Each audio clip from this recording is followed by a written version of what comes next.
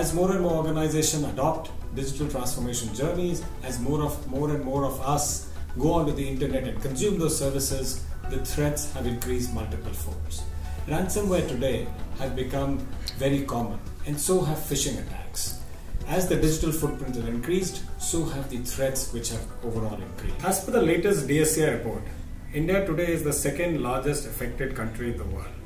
With almost 75% of the countries have been either breached or have been attacked. Cyber criminals today are becoming more and more intelligent and are using advanced technologies to attack.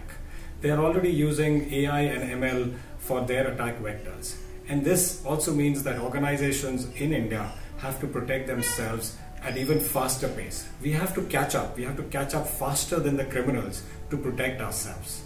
And this really brings to the core uh, the foundation that cyber skilling is very important for us. We need to continuously evolve. We need to continuously learn newer, uh, newer technologies and see how we can protect it. This requires us to be a step ahead of the cyber criminals, and which is why it is very important to keep skilling ourselves in the technology space, to keep skilling ourselves in the cyber security space. Cyber security is a very exciting field and very challenging as well. It is ever changing, which provides a constant learning opportunities.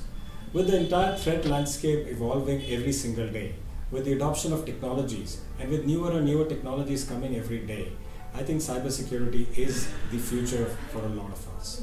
I really urge a lot of the students to see if, if they can take cybersecurity as a career of choice for them.